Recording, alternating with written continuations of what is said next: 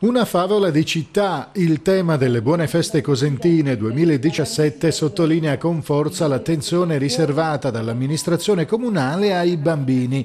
Proprio a loro, per tutto il periodo natalizio, è stato dedicato lo spazio dell'ex caffè letterario, trasformato per l'occasione in un bosco incantato con al centro un grande albero fatto di resti rinvenuti nei boschi colpiti dagli incendi della scorsa estate.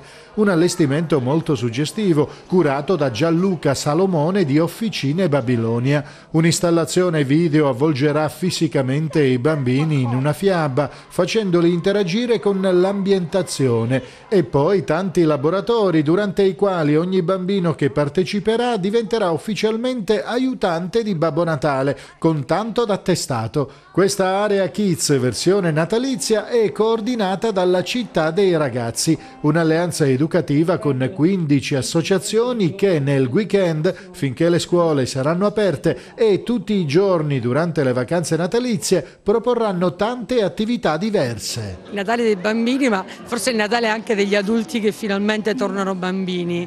È facile comprare dei giochi di gomma, comprare delle cose, creare un, un luogo dove far stare i bambini.